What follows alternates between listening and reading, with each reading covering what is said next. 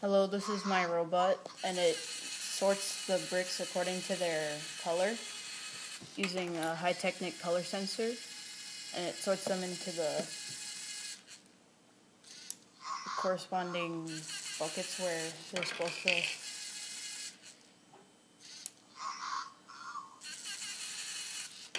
So, for example, right there, it put the blue one with the other blue one, and it doesn't matter which order you put the colors in through the top.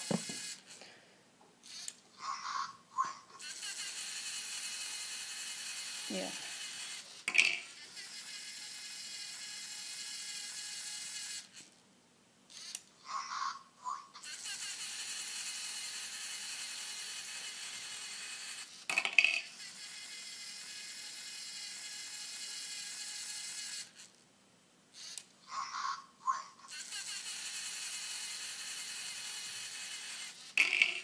The robot also says the color that it.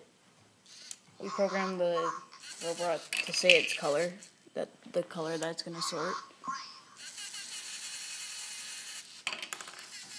I just missed.